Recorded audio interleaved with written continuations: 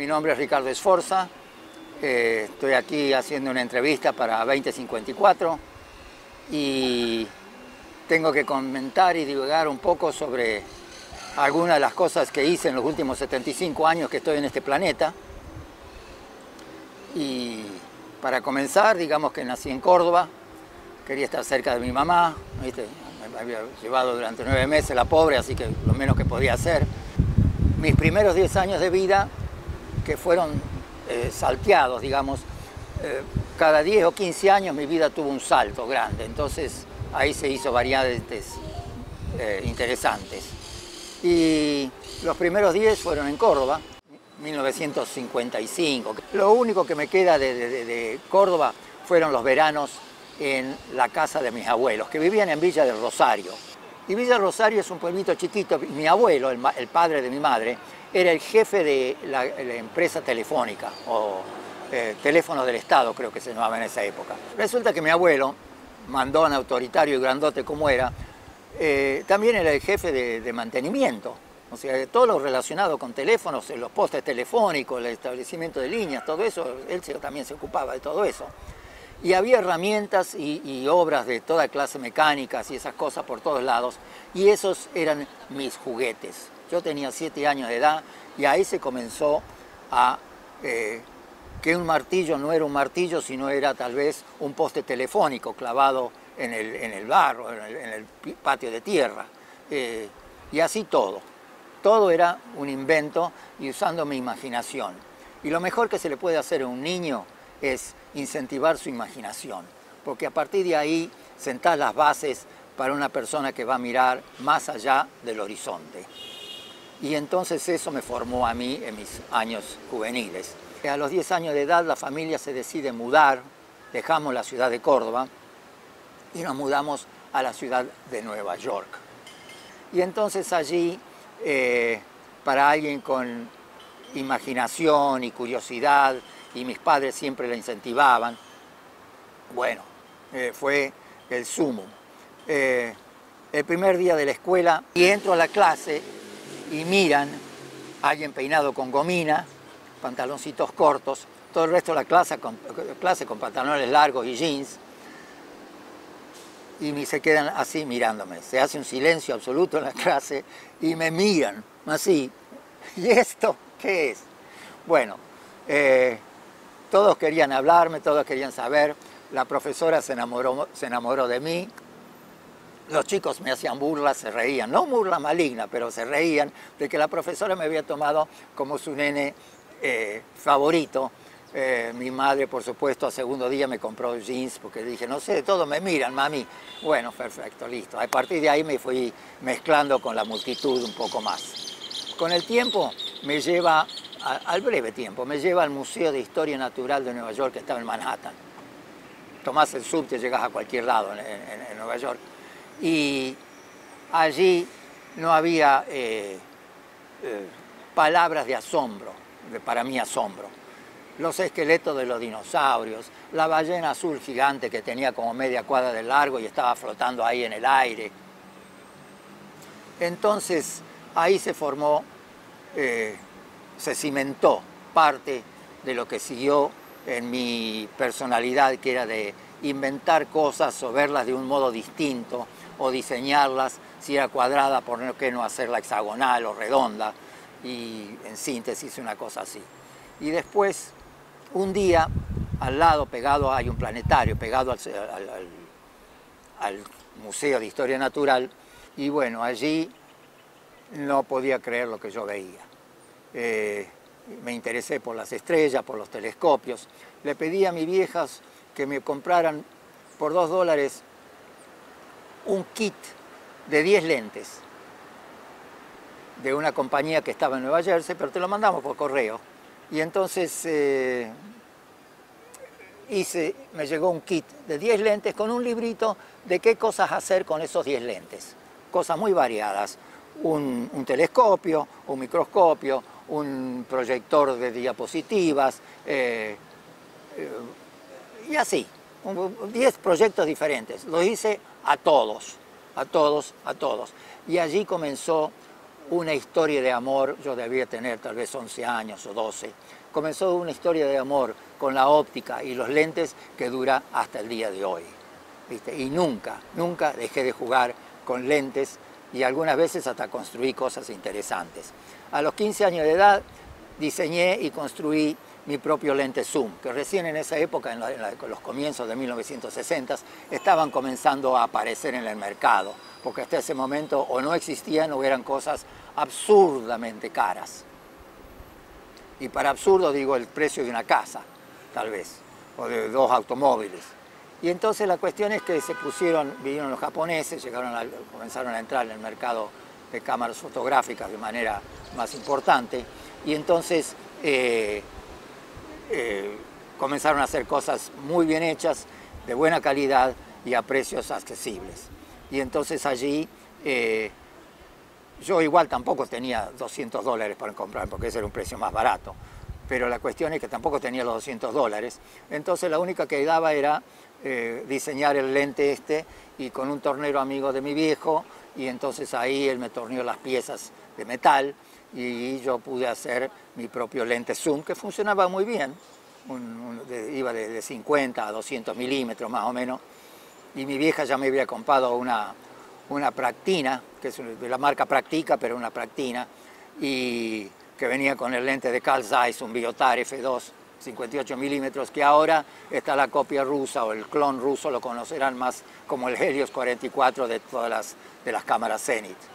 Ese lente, el ruso, es la copia del, de Carl Zeiss que las ponían en las Contax originales. La Contax era la contra de Leica. Eh, o te comprabas una Leica, o si eres un hombre inteligente y querías buena calidad, te comprabas una Contax. Con eh, el tema de, de, la Contax versus la Leica, eran dos campos tipo River Boca.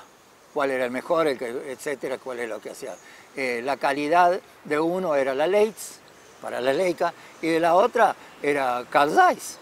La Contax pasó a la historia porque Leica fue más inteligente en, que se quedaron con la misma cámara durante a través de las décadas, yéndola perfeccionándola. Eh, Zeiss-Icon, que era la empresa eh, de la Contax, eh, trató de hacer cada vez más exquisitas sus máquinas de fotos y hizo la Contarex y hizo mecanismos tan complicados, tan exquisitos, que eran carísimos y no podían y pesados, eran grandotes.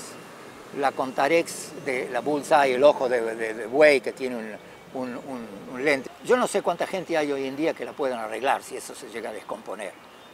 Eh, las Contaflex, para que el modelo más económico, tampoco. Boylander también siguió otra marca de renombre de excelente calidad, también siguió con la Besamatic, eh, que tenían el obturador eran eh, cámaras reflex, pero tenía el obturador mecánico y entre el lente y el, espejo. Entonces el obturador se tenía que, estar, tenía que cerrarse para que la cámara no, el espejo se quedaba abajo eh, y tapaba la película. Pero el obturador, cuando vos apretabas el disparador, el obturador se cerraba el espejo se levantaba, el, obturador se abría y cerraba para la exposición y después el espejo se quedaba arriba, no volvía a bajar, porque nunca dieron pie con bola con eso. Era un delirio mecánico, es, sigue siendo. Vos desarmás una de esas y te encontrás con una pila así de tornillitos, resortes, además tornillos, estaban enamorados de los tamaños. Si podías usar cinco tornillos de tamaño diferente, usaban 15. Todos, por supuesto, del tamaño de relojero, así. y ese era el grande. Entonces, resortes, bueno, no había dos iguales. Este, no, había extraño que los, lo que lo que le frustraron durante al perder la guerra con, la, con el delirio mecánico de que eran los aparatos mecánicos de la guerra eh, nazi, por suerte que perdieron contra el resto del planeta, los, se, se, trataron de desquitar con sus máquinas de foto y los japoneses pusieron obturadores de tela absolutamente todo, el espejo era una cosita que bajaba y subía con tres, con tres palanquitas y se terminó y lo podía arreglar casi cualquier eh, herrero de barrio. Pero la cuestión es que eran confiables, eran eh, livianas y eran baratas de fabricar. Y eso fue la última pala de tierra sobre el féretro de la industria de cámaras fotográficas alemanas. No pudieron, no pudieron. La única que sobrevivió fue Leica, que siguió fabricando exactamente lo que venía haciendo desde la década del 30, desde 1928, 29, cuando arrancaron. Así terminó la gran eh, eh, competición entre eh, el dominante gigante fotográfico alemán y el resto del planeta. Entonces mi vieja me compra este lente con el librito que venía con 10 proyectos que se podían hacer con esos 10 lentes. Un proyector, una superlupa, un microscopio, un telescopio. Entonces yo agarré y hice los 10 proyectos completos, me fascinó. Y ahí comenzó una, una pasión, un amor con la óptica y los lentes que me dura hasta el día de hoy, 70 años más tarde. Bueno, entonces allí terminé de hacer esos proyectos. Bueno, la cuestión es que le mandabas y podías comprar por correo y ahí, en vez del telescopito que me, que me permitían esos 10 lentes, agarré y hice otro telescopio pidiendo, comprando más lentes y más telescopios y más telescopios y más lentes. Y entonces me entero de que hay un club de astronomía, me hago socio del club de astronomía. Eh, el club se juntaba en, la, Universidad de Nueva York, en New York University, en Greenwich Village, donde el, el barrio de donde estaban todos los bohemios en esa época, al lado de la que tiene un edificio donde se nos encontrábamos, eh, un sábado cuando no había clases en la universidad. El edificio es un monstruo, tiene, no sé, 10 pisos, tiene toda una manzana. Y al lado, enfrente, está la, famosa Washington Square, que la habrán visto en 5.000 películas diferentes. La cuestión es que yo todos los sábados me iba allí, me contaba con estos chicos de, que también de astronomía, y ahí se iba cimentando y aprendiendo más sobre óptica y sobre los planetas y las estrellas. Y inclusive fuimos a ver, yo tenía, mis padres me habían comprado un telescopio muy hermoso, grande, y usando ese nos fuimos hasta un, eh, un eclipse solar que hubo y sacamos unas fotos, una de las cuales las vendimos a la revista Life. Y entonces eh, Ahí todo el mundo, bueno, el club recibió una parte para solventar los gastos del viaje, que igual lo habíamos pagado nosotros, pero... Y eh, todo el mundo, todos los que estaban allí, eh, recibimos 20 dólares, lo cual para mí era una, era buena, buena guita, ¿viste? De cosas. Eh, yo llegué a ser allí el secretario del Club de Astronomía de la Universidad de Nueva York. Termino la, la, secundaria, los telescopios y las ópticas quedaron de lado. Yo me metí en una universidad a estudiar eh, mecánica de aviones, estuve allí un año, y ahí la familia, por razones varias, se muda de vuelta a la Argentina. Eso era el año 1970. Entonces, eh, de a poco me vuelvo a hacer un grupo de amistades aquí. El plan mío era estar aquí un año o dos y después mudarme de vuelta a Estados Unidos o Inglaterra, no sé, irme. Pero estaba, la Argentina era como un lugar virgen, era como el lejano oeste, no había nada, estaba todo, era tan fácil de, hacerse rico haciendo cosas, simplemente haciendo un ayornamiento. Decidí quedarme. Me instalé una fábrica de plásticos, eh, y comenzando a hacer cosas que aquí no se hacían. Fui a los fabricantes de carrocerías, de, de ómnibus, y le dije, mire, esto con plástico se puede hacer de otra manera y mucho más barato y mucho más fácil. Fue muy, pero muy difícil. Era todo no. ¿Para qué lo voy a hacer en plástico si lo puedo hacer en chapa? Pero la cuestión es que la chapa duraba, demoraba 10 veces más, etcétera, etcétera, etcétera. Bueno, de a poco así pasaron eh, muchos años, la fábrica creció, eh, yo con la industria del plástico. Eh, durante la época del taller de plástico era inventar todo el tiempo, mesas de jardín, eh, porque venían clientes a pedirme cosas, alguien importaba máquinas tejedoras industriales checoslovacas y en el campo, en el camino se le perdían las tapas, donde si metías la mano te en el brazo, entonces tenían que tener las tapas porque sí, y entonces me pedían 20 tapas distintas y yo las tenía que agarrar, diseñarle la tapa, porque no estaba el original, tenía que diseñarle la tapa de las, de las tejedoras y construirlas de modo que calzaran exactas así.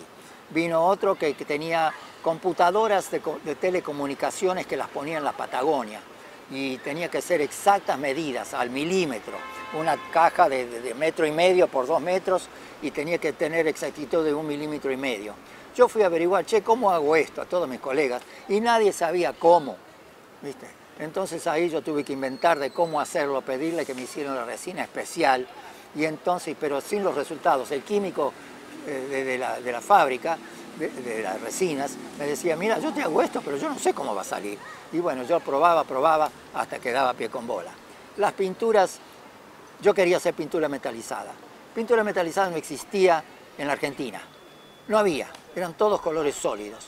Entonces yo voy a Alba o a, Colorín y le digo, mira, yo quiero una pintura así, así, se hace de tal, de tal manera. Me dice, bueno, mira, nosotros no fabricamos eso, pero además no te trataban bien, ¿eh? te trataban como un loco de la guerra. Y entonces decían, nosotros no fabricamos, si querés te hacemos una tanda, pero tenemos que hacer mínimo una tonelada. Bueno, era ridículo, ¿viste? Yo necesitaba 8 litros o, o 20, qué sé yo, no sé, ¿viste? Pero bueno, finalmente inventando, venía, hablé con todos los técnicos y finalmente hice pinturas metalizadas en Argentina. Claro, hice 8 litros, tendría que haberlas comercializado y hacer tambores de 200 litros o algo así por el estilo. Pero la, pregunta, la cuestión era que no había mercado para eso, porque nadie usaba pinturas metalizadas en la Argentina. Patenté, me copiaron absolutamente todo, excepto la pintura esta, me copiaron absolutamente todo lo que hice. El diseño de mesas me lo copiaron. Eh, unos cascos de moto me lo copiaron un casco de, para, para bicicletas de chicos, que recién estaba saliendo el bicicross, este recién nacía. Entonces le hice un casco para bicicross, un casco chiquito para nenes. No había en la Argentina. Entonces yo siempre fui así, ¿viste? Siempre era natural. Yo veía un cuadrado y por qué no hacerlo de seis lados. Y si veía algo redondo y por qué no hacerlo de ocho lados. Y así. La fotografía estaba siempre presente. Había una galería que ahora cerró, en la calle de Defensa, en San Telmo, ahí estaba el localcito. Yo vendía un poco de todo, pero lo que más me gustaba eran las máquinas de foto, la fotografía. Y me fui conectando con el ambiente eh, fotográfico argentino y también eh, internacional. A mí siempre me gustaba más que 35 milímetros, que es un negativo chiquitito así, me gustaba más el formato medio. Y entonces agarro y que es un negativo mucho más grande me dicen, che, mira, hay alguien que está vendiendo una Polaroid 600 cc. Y le digo, no, pero fotografía instantánea no me copia. No, no, pero esta es de fotografía eh, hoy mal llamada analógica, porque es fotografía química. Y entonces eh, le digo, pero ¿y cómo es? Me dicen, mira, te la voy a traer y si te interesa tiene buen precio. Y entonces me la trae y asoma una especie de caja de zapatos, que es así, por así, grandota así, pesaba 3 kilos y era absolutamente hermosa. ¿Cómo puede ser una caja de zapatos hermosa? Bueno, si te gustan las máquinas de fotos, las cajas de zapatos con lentes son hermosas. Y entonces la cuestión es que eh, la uso, sacaba fotos en 6x9. A mí me gustaba fotografía callejera. Entonces yo voy y sacaba la caja de zapatos esta, porque era así se tenía que tener con las dos manos, y sacaba fotos en la calle. Y yo era ingenuo, por decirlo de alguna manera, porque era un farolito. Vos sacabas eso y todo el mundo se enteraba que alguien iba a sacar una foto. Y sacar fotos en las callejeras, street photography, es algo de la instantánea, de agarrar y, tomar tal cual, no que todo el mundo se ponga rígido y mirando, oh, mira una cámara, que es una cosa. Entonces la cuestión es que dije, primero es muy grandota y segundo es muy pesada, porque eh, 3 kilos más el trípode, más el fotómetro, más el bolso, se iban sumando y mi endeble estructura no aguantaba todo eso, pasando 3, 4, 5 horas toda una tarde por allí. Y había algunos barrios donde decididamente tenías que ser un insensato, como yo, para entrar con todo ese aparato. Bueno, entonces, yo como siempre dije, ¿por qué lo habrán hecho? Encima era japoneses, los japoneses son así de chiquititos, ¿viste? ¿Cómo cargaban esto? Si para mí es una caja de zapatos, para ellos es una, es una maleta esto. Entonces yo decidí, bueno, basta, yo no me voy a romper el hombro cargando este monstruo ahí. Y ahí comencé a comprar cámaras y cortarlas en pedacitos para hacerlas más chicas. Eh, yo sé que agarrar una moladora una máquina fotográfica puede llegar a sonar algo extraño, pero bueno, admito que, viste, eh, hago cosas extrañas a veces. Entonces corté varias, por, la mitad, y llegué a la conclusión de que era más fácil eh, construir una de cero. Y entonces hice esto. Esto es lo mismo que la caja de zapatos, nada más que tiene el mismo lente, tiene el mismo respaldo para la película, un Graflex 23,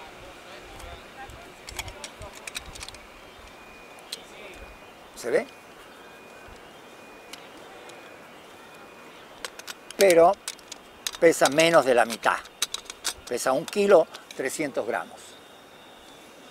Y a esto yo lo puedo llevar, si me pongo un saco, lo puedo llevar colgado acá y nadie se da cuenta que estoy haciendo street photography. Bueno, con este levanté más de una, de una ceja en el ambiente eh, y saqué muchas, muchas, muchas fotos. Pero eh, comencé a ver otras eh, variantes, porque este lente es muy grandote. Y si una super iconta puede usar un lente que es la mitad de esto, no veo cómo o por qué yo tengo que tener semejante mamotreto. De hecho, esto se desarma. Yo saco esto y te queda un tamborcito que está con el lente y el obturador así de chiquitito. Entonces yo no entendía bien qué es lo que habían tenido en mente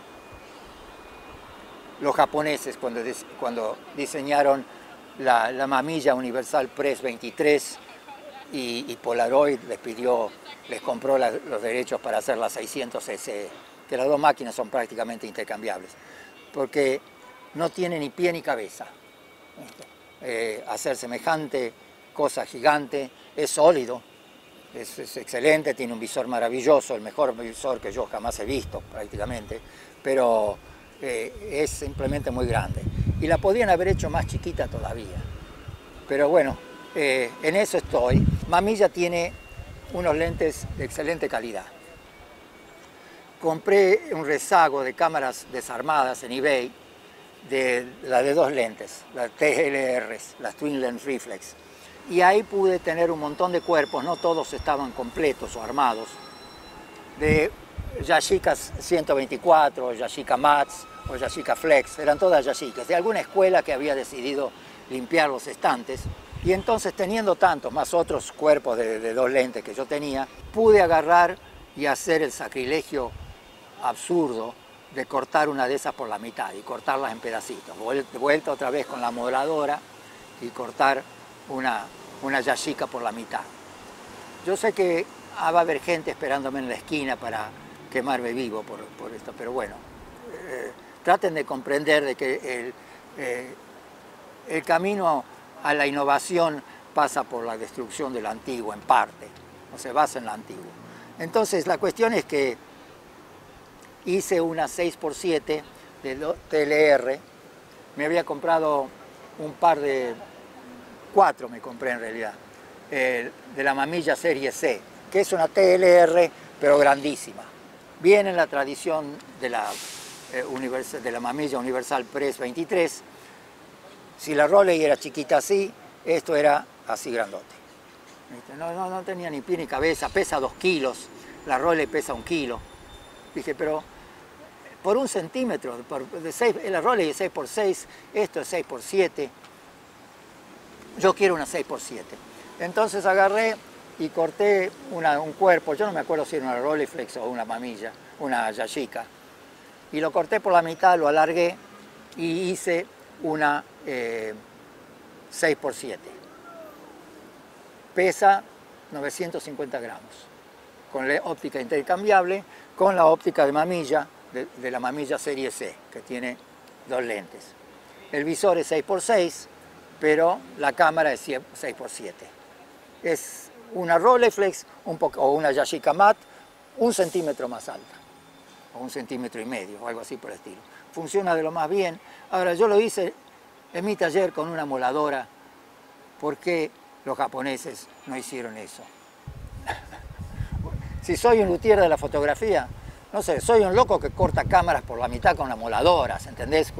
Guarda con ese, que mejor que usemos la vereda querida, traer los niños. Pero algunos inventos salen de eso. Ahora estoy haciendo, incentivado por la 6x7, me gustó el tema, eh, hice una sola, saqué un par de rollos, funciona bien, es muy liviana. Quería algo más liviano, porque digo, pucha, el, tipo que viaja, yo viajaba, tomaba aviones, me iba a Brasil, qué sé yo qué, y entonces en esa época. Y entonces dije, llevar 3 kilos de máquina como era la Polaroid era un disparate, no lo hice nunca. Llevar un kilo 300 es mucho mejor. Pero si llevo algo menos, pero mejor que un kilo 300 es llevar un kilo o 850 gramos. Y entonces agarro y llevo, me hice una 6x7, sí, el, formato es más chiquito, está, que es simplemente una cajita con el lente. Y eso pesa 850 gramos. Es básicamente esto, nada más que para 6x7 y con, con el lente de la mamilla C. Pero eh, para eso había que desarmar los lentes de la mamilla C, que son dos lentes, y eh, sacarle uno y usar un solo lente. Entonces ahora estoy haciendo uno que simplemente sacas el lente de la mamilla. Hola, ¿qué tal? ¿Cómo te va? Eh, sacas el lente, agarras un lente sin hacerle ninguna modificación de ninguna índole, la pones en el cuerpo este y tenés una cámara 6x7, tenés una TLR, una, una tipo Rolleiflex 6x7 con visor. Yo quería agradecer al programa 2054 por haberme dado este espacio para, para explayarme en mis delirios ahí.